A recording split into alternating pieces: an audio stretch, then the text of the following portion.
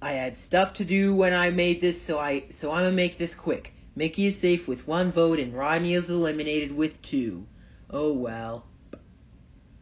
Alright, this is Henry the F1 guy signing off. Catch you all on episode 30, which will be sometime in March because because I'm gonna make my next ASMR soon.